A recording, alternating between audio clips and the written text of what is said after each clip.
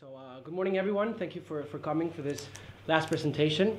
And well, as Alex said, uh, I'm going to discuss about the, the role that political parties play within the structure of the electoral management bodies. Uh, I do this with a focus in, in, in Latin America. And uh, the question I ask is, as you can see here, is to include or not to include party representation in electoral institutions and confidence in elections. So, as you can see, we have two different pictures here. I mean, and although I'm uh, focusing on Latin America, I think these are two good uh, mini cases to, to discuss. Uh, the first picture here, you have uh, Nelson Mandela, and I use it because of the 1994 uh, elections in, in South Africa. Uh, for those elections, Judge Kriegler, which was the head of the Electoral Commission back then, and I'm going to quote him, he said that while South Africa's messy 1994 election was successful, Mexico's technically perfect presidential election ended in protest. The reason he said because of this, he said that while in South Africa, incompetent elections were accepted because people believed in it. And people believed in it because the EMBs had the support of the political parties. So these elections had like many technical flaws. Uh, the, the election commission only had a, about four months to, to prepare the elections. I don't know, maybe you remember the, the pictures from the longest queues you've, you've ever seen in history. Uh, there was a hacker that infiltrated the result system and that was like flagged out by, by IFES. And uh, I mean, there were like many, many problems. But in spite of this, you know, it was a historical election and people believed in it because the, the political parties supported the electoral management body and uh, they supported the commissioners. Um, even the, the head of the commission, uh, Judge Kriegler, in spite of being an Afrikaner, he was trusted by the political parties because he was always in contact with them and also you know through his history uh, his judgments as a judge were against the apartheid system. But uh, well that's a, a different uh, thing. And uh, one of the main reasons uh, why this election worked is that the independent election commission in south africa uh, set up a party liaison committee to just discuss and consult and include political parties in, in every decision. And this committee actually is still working to, to date. And all political parties at the national and local level have, have a voice there. So they are involved in the decisions. On, on the other side of the slide, you have the Kenya 2007 election that, as you know, ended with uh, thousands of people dead, many more uh, displaced. And uh, one of the key reasons behind this is because political parties and people in general did not trust the, the election commission of, of Kenya. Uh, 19 out of the 22 election commissioners were uh, actually appointed just very few weeks before the election, and there was no uh, inter-party consultation. And most of them, these 19 out of 22, were basically appointed by uh, President Kibaki. So you know you have two different ways to look at it, and I give you these examples just to say that it's, in my opinion, it's important to include political parties in electoral management bodies because you know they're the main objects of regulation in elections. So, oh, this is what I just said so I'm going to skip this uh, slide. Um, so, like basically during the 1990s, there was uh, like many scholars and, and practitioners pointed at you know the importance or stressed the importance of having formally independent electoral institutions. And this can be understood because you know you came, you had transition elections, you had the, the, excitement about the third wave of democracy, which before many elections were run by the government, so by a ruling party that didn't allow uh, for competition, didn't allow other political parties to uh, to attain power. So you know it's it's easy to understand how the emphasis was put in independent commissions. Then you know things evolved, and more recently the debate that has been a little bit overcome, but the debate is whether to have uh, partisan autonomy in electoral management bodies or have party representation. And uh, there's actually no, no agreement with this. And there are two main models. The first one is the multi party based EMBs, where uh, individuals, where the, the commissioners or uh, the top staff of the EMB is appointed by political parties. So, in a way, they act as political party agents or uh, representatives. And the other model, which is the expert based EMB or the ombudsman model, where you uh, appoint, where you nominate people that are really uh, well known in their field or they have like this reputation and they're selected because they have like um, a lot of technical experience uh, in the field of elections. So those are the two models. Um, as I said, there's no consensus on which model is best.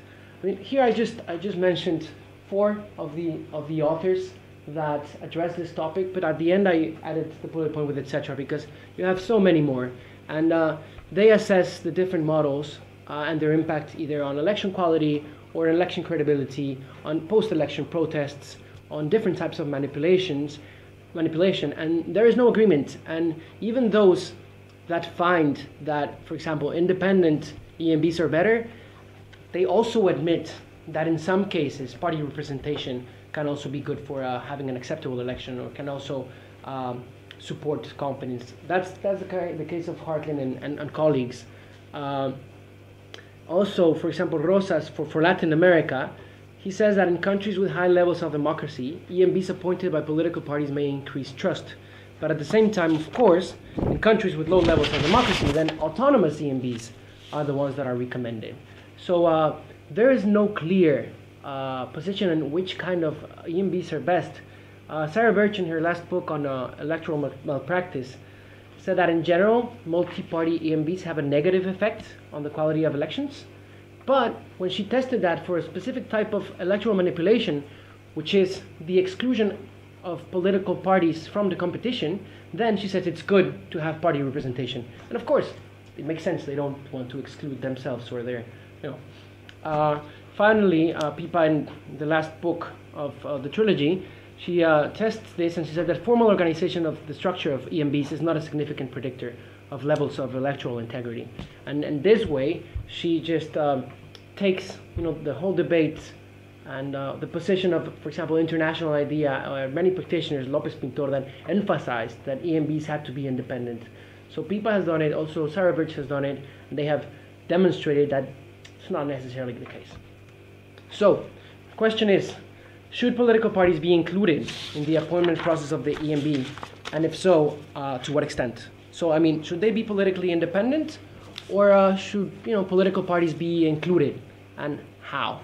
Um, so, I mean, this is important because political parties are a key link between citizens and the political system. They can influence public opinion. And as I said, they are the main object of regulation of electoral management bodies and are at the center of its processes. So they basically can be affected by most of the things that EMB does. Uh, you know, boundary delimitation, party registration. They are regulated in their campaign activities, in their campaign financing, their incomes, their expenditures. So, you know, they are at the center. So, uh, in my view, it's it's only not only fair, but it's necessary for them to be included, because that makes it less likely for them to then challenge the elections. If they had like something to say when uh, the commissioners, for example, were discussing uh, how to draw the districts, and if one party is affected, and if they have a say, they might find a, you know, a way that makes everyone happy. Whereas if the political parties are not there, you know, so more on that uh, later. Um, okay. So I do this and I, I test this, like if EMB should be politically independent or not, and if so, how much should political parties be included, by using the Parliamentary Elites of Latin America survey by the University of Salamanca in Spain, which uh, asks, it's, a, it's an elite survey, asks congressmen and women from uh, different Latin American countries from 1995 or so to, to date. I take waves two to five. And uh, what I do to, to measure if political parties should be included and to what extent, so I propose a four point scale of the level of participation of political parties in electoral management bodies. So, first, you have electoral management bodies where political parties do not participate whatsoever in the appointment. That's the case of Brazil, for example, where the Tribunal Superior Electoral is uh, the members are appointed by the judiciary branch. Some of them are appointed by the Supreme Court, and some of them are by another tribunal. And Ecuador, where actually you have a citizen participation council that appoints the, members. Then you have EMBs, where political parties have an indirect role in the appointment. So that's the case Mexico, Guatemala, and many others, where, like for example, two-thirds majority in Congress decides to, uh, you know, appoints the members. So you know you, you have you normally have disappointment because many political parties participate, but indirectly.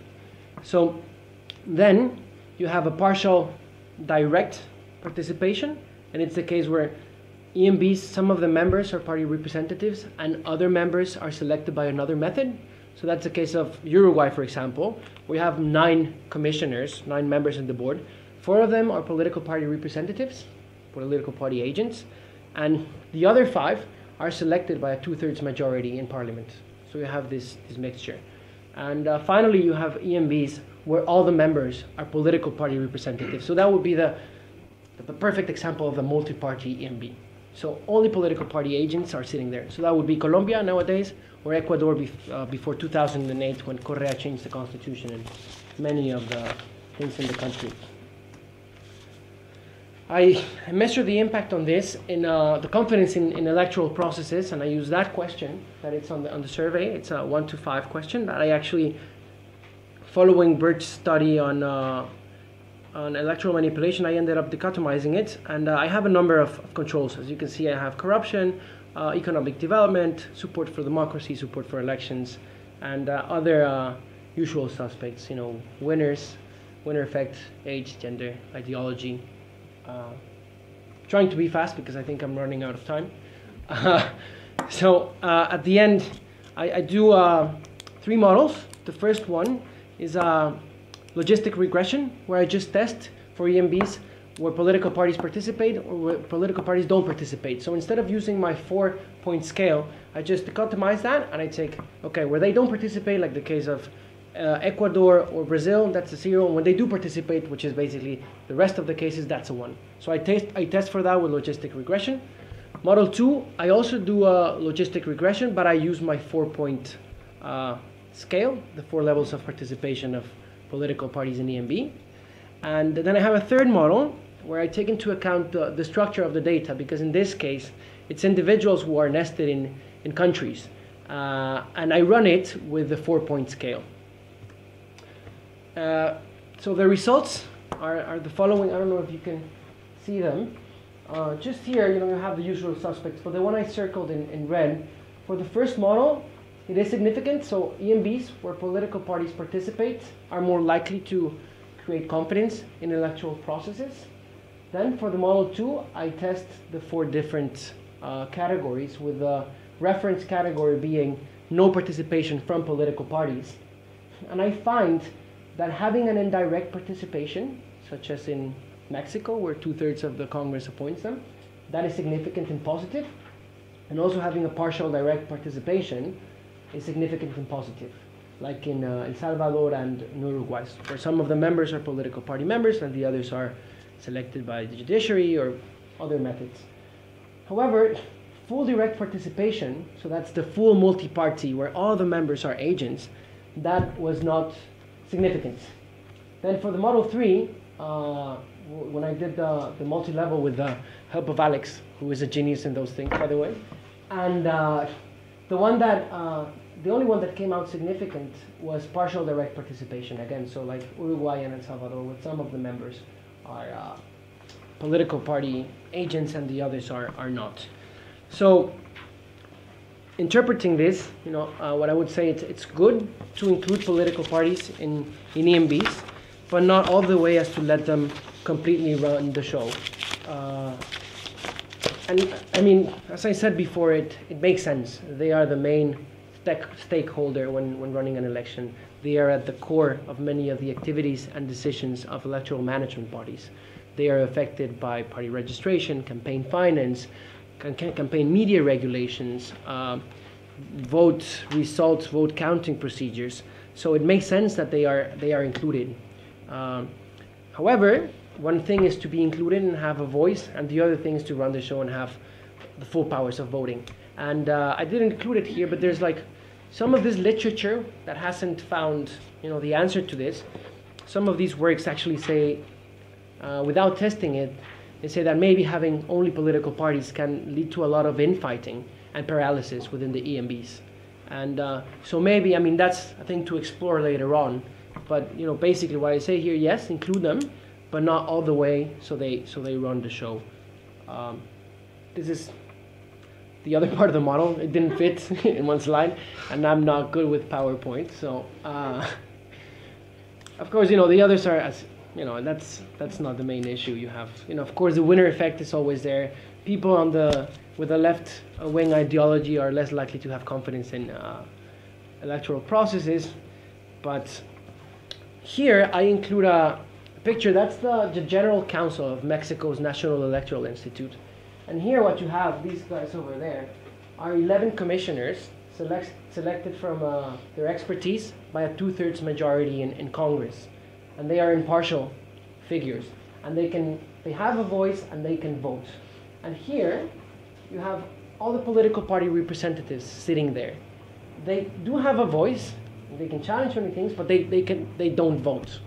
And this structure is actually replicated at many different levels of the institutions. So you have different commissions, commissions for training procedures, commissions for uh, electoral logistics, and you always have in those commissions, for example, three commissioners and all the political party representatives sitting there.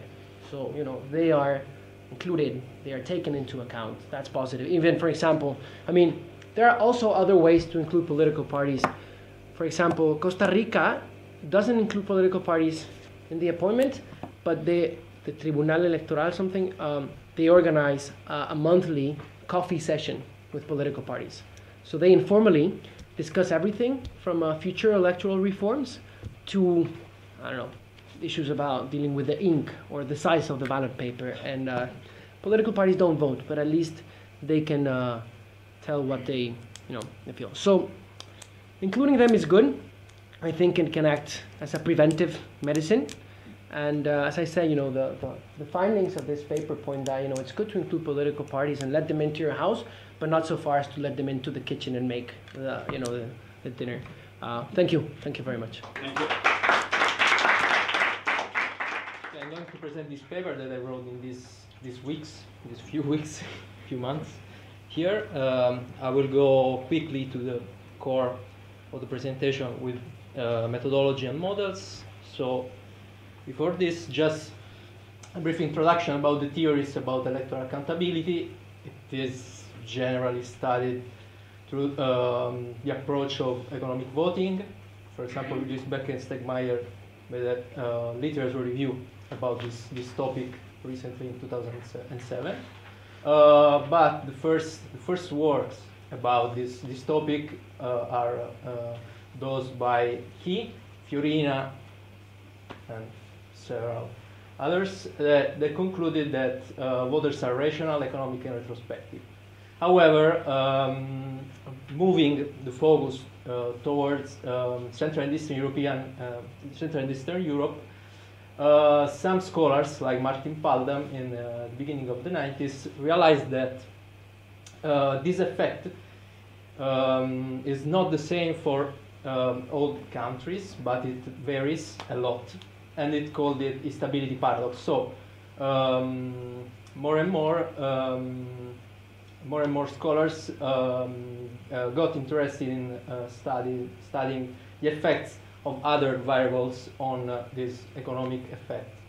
Uh, in, particularly, uh, in particular, uh, Powell and Whitten, and following them, uh, Anderson, uh, at the beginning of the 2000, 2000 the, the, new, the new sector, let's say, studied the effect of the political context with an approach called quite well-known approach called uh, um, the clarity of responsibility approach, so studying the effects of institutional uh, arrangements on uh, um, voting behavior, in particular related with economic evaluations.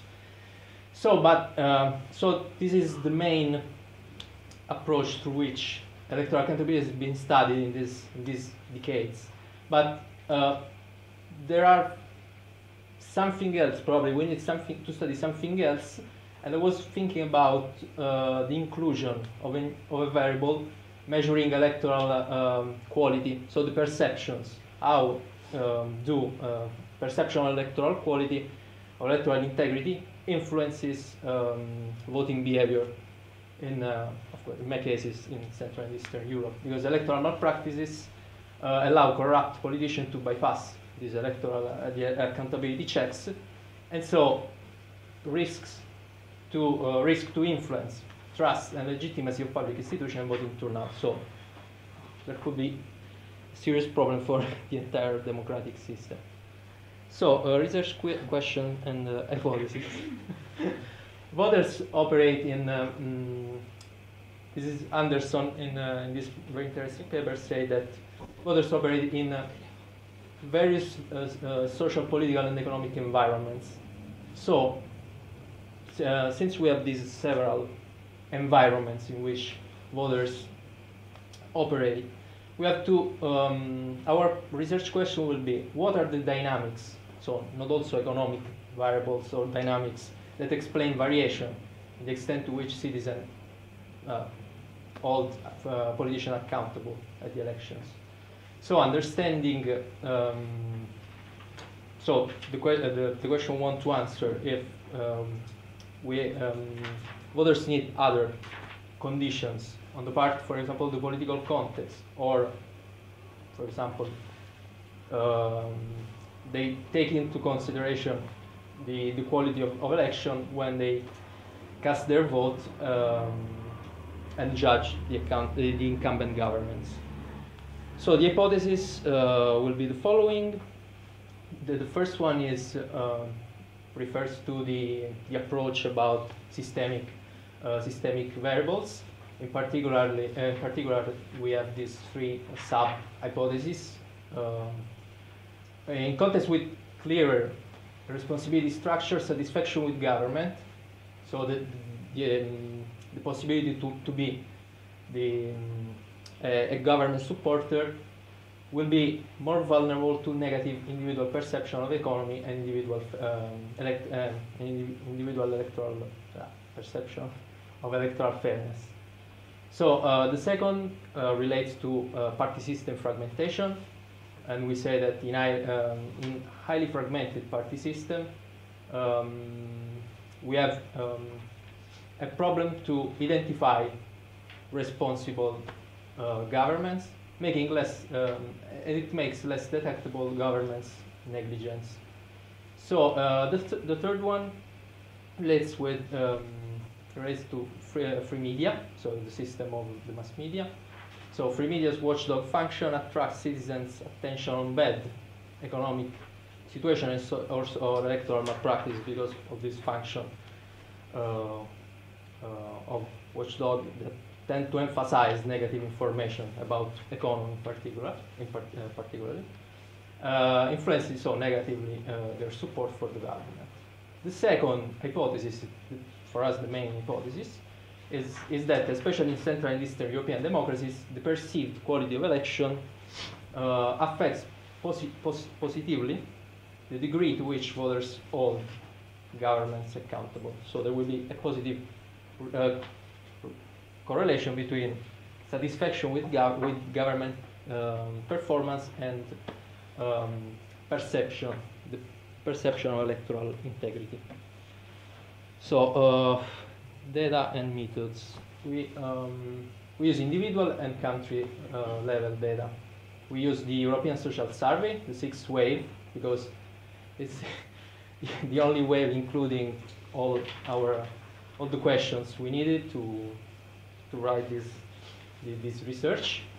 Um, we focused on these eight available um, Central and Eastern European countries.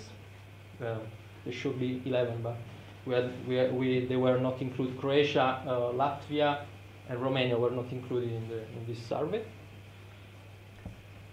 So uh, we have one dependent variable, which is a measure of satisfaction with government performance. It is not the, the, the traditional measure for um, um, national voting tension that is usually employed in this in this kind of study, but because we have not in this, this that that variable that that question in, uh, in in the survey, so we use this, but there is a, uh, a there is a growing literature about the, the possibility to use this, this, this variable as as a measure of accountability. There's a recent book by Morgenson that I use, that I read, found recently that uh, that's something about this. So the, the, question is now thinking about the, the country government, how satisfied are you with the, the, way it is doing its job? Responsive are a scale that runs from 10 to, from 0 to 10. And so this is the distribution. Given this distribution, I use the, um, so I have multi, multi-level uh, linear uh, regression model. So uh, we have two key independent variables at the individual level. One is um, individual evaluation me measures individual evaluations of national economic situation and runs from 0 to 10 also in this case. It is a classic traditional question about uh, individual perception. The second one is uh, a, a, measure that I built through um, confirmatory factor analysis. I took these three items that were quite highly correlated um, and so I, I built this, this index that runs from 1 to 10 and could be useful um, to measure uh, individual perception of electoral fairness. Uh, at the, the country level, we have these, these, these variables. One is an index uh, that I built using these three uh, items. One is parliamentary support for the, for the government, zero if we have a minority government, one if we have a majority government the diversion of power, if, uh, zero if we have a coalition government, and one if we have a, um, a one, one party government. And government stability depends, of course, on the stability, the years in, uh, in office of this of, of the, the, the, government, incumbent government at the moment of when the, the, the, questionnaire was administered. So uh, the fragmentation of the party system, uh, we measure fragmentation of party system through the effective number of parties, traditional measure developed by Laakso and Taagepera. Um, finally, we have a measure of uh, for uh, media freedom. We use the, the Reporters Without Borders index, which runs from 0 to 1,000, uh, 100. Um, we reversed the, the, the, index, so a lower, um, a lower value means um, less freedom of the press, the higher means um, higher freedom of the press, of course. And this is built on these six six items. So uh, last last slide about this is uh, um, about the methodology, but we we build this, we run this, we run these six hierarchical models, linear models with restricted maximum likelihood. So uh, the results that you can find in the handout uh, that I uh, that I sent you is that in, uh, in model one, two, and three, we test the direct effect of we, we, we look we look at the effect of retrospective economic evaluations on our dependent variable plus the effect the interaction be, uh, uh, between our systemic um, systemic variables with um, and retrospective economic evaluation. We conclude that people with more positive opinions of the economy are more likely to support the incumbent government. So this confirms the, the traditional the assumptions of the, the economic voting theory. Uh, the main effects of the systemic variables are rather significant, not so much, it is between 90% and 95 and I don't remember now. Yeah yeah, 90 and 95 percent, but you can find there. Uh, so, um, okay, about it. so um, there is an effect, but we, we want to go beyond, and and this what what we are interested in is in the in models four, five, and six, where we present evidence about the moderating effect of the same systemic variables on voters' perception of electoral fairness, and of course their impact on the our dependent variable. So people with more positive opinions about the quality of electoral procedures are more likely to be government supporters. So we have found that highly um, statistical significance about this. The main effects of the systemic variables are in the expected direction. So we have a negative, a negative um, coefficient for government clarity, positive for uh, the effective number of parties, and negative for press freedom, uh, press freedom index, but are not so much significant. In this case, instead, interactions are highly statistical significant. For this reason, I put the graphs. So this is the predicted marginal effects of government clarity, blah, blah, blah, with government for different levels of individual perception of electoral fairness. We can, we can see that in this case, because I, I, I didn't I didn't put the, the graphs for uh, the satisfaction with the economy because they are not significant. The, the effect is almost the same. Instead, in this case, there is uh, a, a, a, significant difference, more or less. Because we have, in this case, we have the, uh, the line that represents the, the relation between government clarity and satisfaction with government will be high, uh, will be stronger in cases of where, where, in contexts in which perception of electoral fairness, uh, fairness is lower. So it's the minimum value one. In, uh, in the second case, uh, we'll have um, positive relation, and it will be stronger in cases of, in context with uh, lower perception of, of electoral fairness. So. Uh, uh, well, what we can say about this is that so as as in the case of um, satisfaction with, with economy of course in um, in context in which we have a higher number of parties so an, a higher number of uh, available alternatives it will be more difficult uh, for voters to assign responsibility to to the government for electoral malpractices or, in case of economy, for bad economic performance. So it is, uh, it is, it is, it is good for us. Um, and in the, in the, last graph, we have um, the relation between press freedom and satisfaction with government. In this case, there is a difference.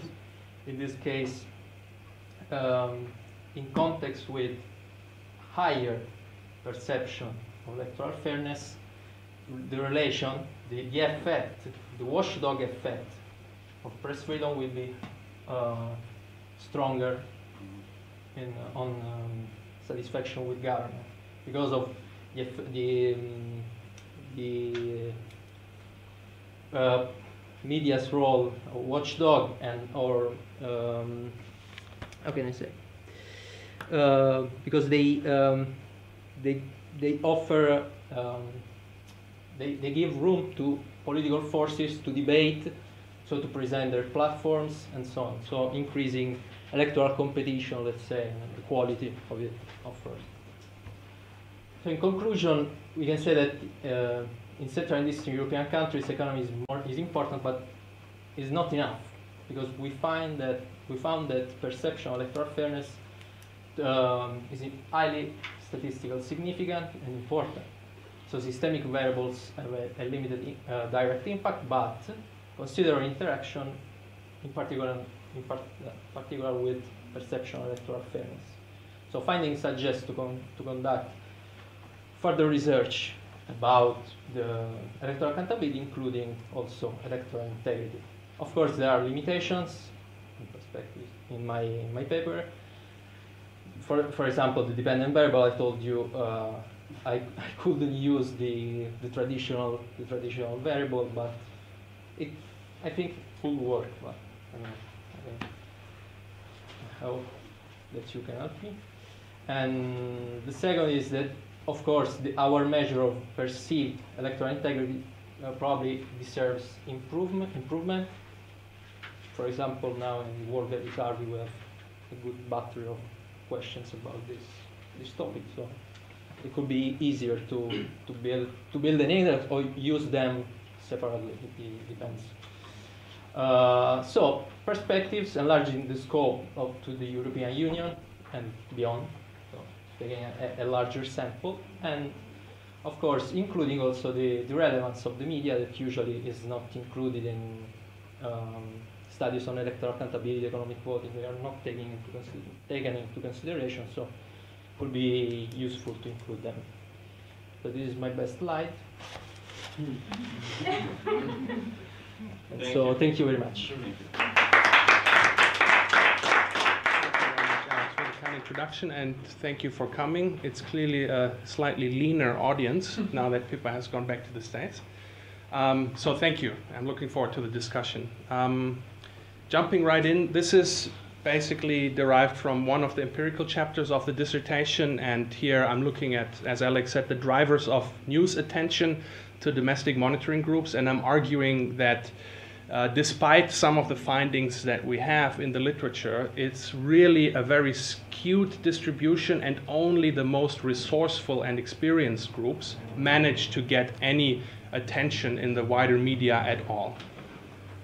Um, this is basically important and interesting because we know the trend that not only elections have proliferated since the 70s or even earlier, but so has also the monitoring of elections. So I would say since the late 1980s, not only international organizations but also domestic NGOs, social movements, and interest groups have started to place scrutiny on the electoral process, as you can see here in the red line at the bottom. So this is an increasing phenomenon, and it's also uh, a phenomenon that attracts a lot of money from international assistance providers and donors. So from this practical perspective, it is quite interesting to see what influence these observer groups actually have. But more from a theoretical perspective, it is also interesting to see because we don't know a whole lot about the impacts um, of monitors on electoral integrity. We know a little bit um, from cross nationally comparative literature and from field experiments at the micro level. And both of these literatures basically assume that information provided by monitors alters the cost benefit calculations of those who may want to um, perpetrate electoral manipulation. So, as Susan Hyde and um, Nikolai Marinov show, if there are international monitors present in an election and they produce reports, there is a higher chance of um, post election protest and contestation if there were malpractices. And this is the signal that then would deter autocrats from actually manipulating the election. So this is sort of the um, rational choice argument that is behind most of the literature. But we don't know anything about whether this information that groups um, produce in reports actually reaches a wider audience at all. This is simply assumed, and it's more or less a black box so far. There's also a little bit about longer term effects of observers that has to do with building social capital and um, bridging social capital in particular. Um, but also here, the mechanisms are not very well specified, and that's why I hope to make a tiny um, theoretical contribution and innovation here to this literature by bringing in the agenda setting literature from public policy and also from political communication. And as Alex has pointed out, this is a pretty um, established agenda setting model of how issues reach certain agendas and at the very end the policy agenda where possibly issues that have to do in my case with electoral integrity may get formulated into actual policy.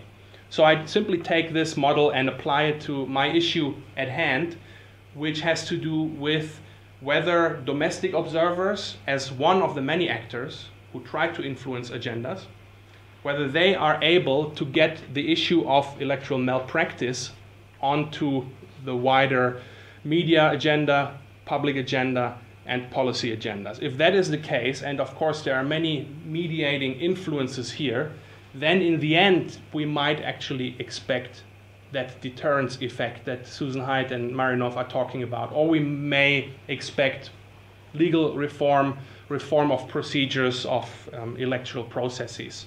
However, I cannot feasibly show um, that whole or get empirically um, test this whole process. So what I'm really zooming in is um, that first step.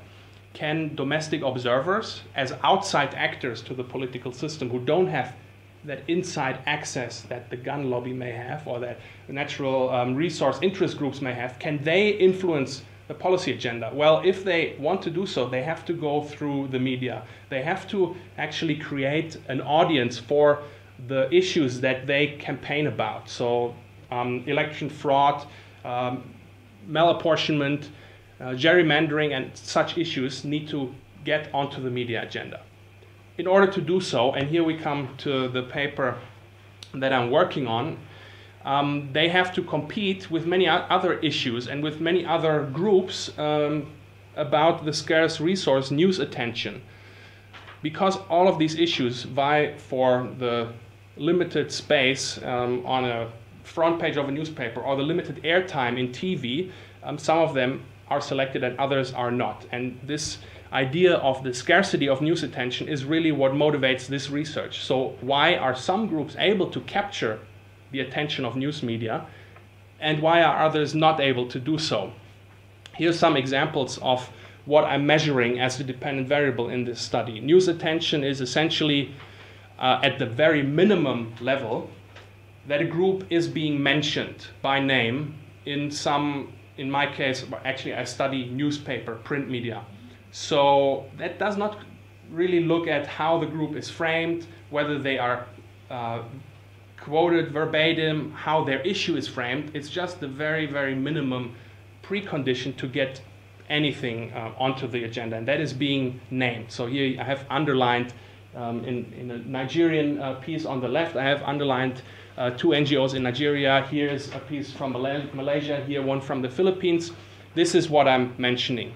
So uh, uh, I'm measuring, sorry. So my unit of analysis is essentially uh, newspaper articles mentioning one of the about 700 domestic observer groups that I have in my data set. And here you see the um, distribution of that dependent variable. So that is quite devastating for those who say domestic observers make elections better because, as you can see in this uh, graph, it is a power law, um, as we would call it, meaning that more than uh, almost two thirds of all the groups get zero news attention. They are not mentioned in any single newspaper article. And the way I've measured it is coding the number of articles mentioning the groups in that country uh, in a period of two months before to two months after the last election in that country. So the big bar at the very left is all those groups that get either zero or only one article of mentions. At the same time, you can see that there are some groups who get a lot of mentions in the news here at the right end of the spectrum. And I have standardized here the dependent variable by dividing um, the number of articles mentioning the group by the total number of articles published. Because obviously in India, there are more newspaper articles published than in Burkina Faso. So this is a very skewed and over-dispersed dependent variable, which has implications for the models I can use. But still, this just re-emphasizes the, the huge question why do some groups capture news attention and others don't? So, why do some press conferences look like this in Mozambique and others look like this um, from Citizen Election Watch in Uganda, uh, where the media apparently don't take that much note?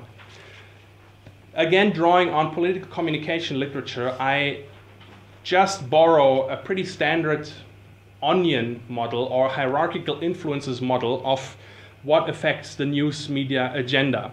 And so on the outside um, of that onion, you would have um, on the right real world occurrences um, or actual problems that happen. So when Fukushima happened, everybody was talking about nuclear energy and whether we should continue with it. So I would expect um, that the real world extent of mal- electoral malpractices has something to do with news coverage of these groups. Then at the same time, uh, we also know that institutions such as press freedom quite significantly influence the gatekeeping role of the media. So, where there is censorship and the government has a tight hold through ownership of the media on what they report, we would expect less news attention to groups that try to draw attention to electoral malpractice. So, this is at the, the inner level of this onion. Um, but where I really want to put my money and what I want to bring in from what we know through interest group studies is that not all groups are created equal. So when you look at groups as news sources, they have very different capabilities of producing news, uh, worthy material. Oscar Gandy called this the production of information subsidies. So um, ready-made bits of information that journalists like to just copy and paste into their articles, um, providing uh, press conferences, press briefings, possibly interactive materials on a website and other types of information subsidies. And what we know from interest group studies is that professionalization of the groups, the way, the degree to which they're institutionalized, their, their amount of resources that they have, sheer money, staff, etc., and their experience and standing as a um, well-regarded actor is really what makes them more able to give these information subsidies. So this is where um, I basically want to place my model. Is it real world occurrences? Is it um, institutions of press freedom? Or is it group characteristics? therefore, I use independent variables that you might have suspected. The issue attention is just simply the um, perceptions of electoral integrity index. Um, I use the press freedom index to sort of monitor the role of institutions um, and the media system.